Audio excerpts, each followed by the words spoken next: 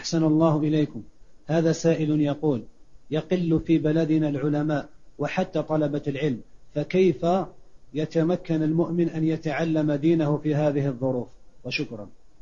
حاول يحاول أنه يسافر لطلب العلم في الجامعات وفي المدارس ويحاول وييسر الله له.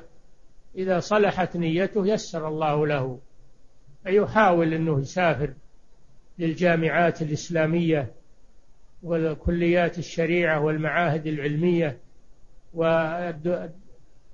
والجلوس عند أهل العلم في في حلق التدريس يحاول والله يعينه.